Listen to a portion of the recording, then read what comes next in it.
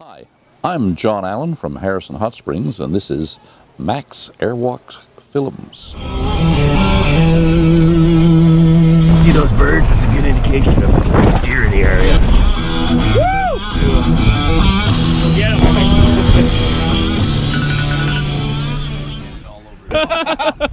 Oh, that's too much. yeah, baby. He got it all. got it all.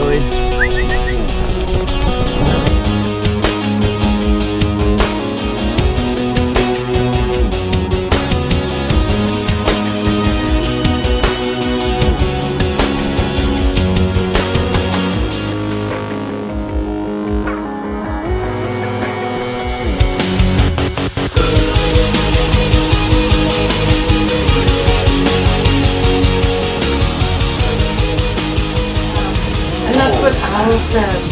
That's what Owl says. Oh man, this is getting weird. it's getting kind of jiggy.